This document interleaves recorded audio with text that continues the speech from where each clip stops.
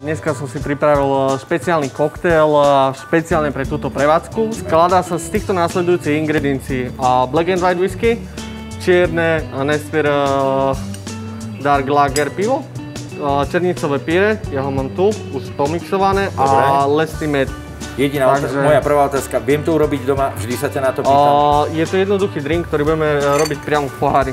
Ja pomaličky už začnem Dobre.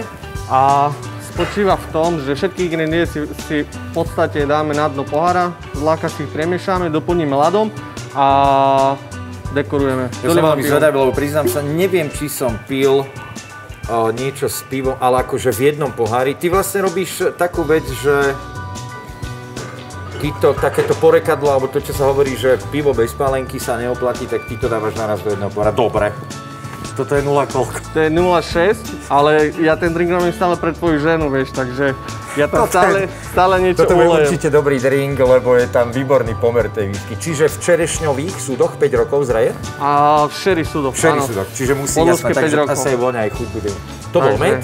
Áno, Teraz dávaš- píre. Ja som použil med tuto z eh, pienín. Horský je fakt špecificky svojou chuťou a ucítiš ho v samotnom drinku. Všetky ingrediencie, ktoré v pohári máme, si takto iba zľahka premiešame.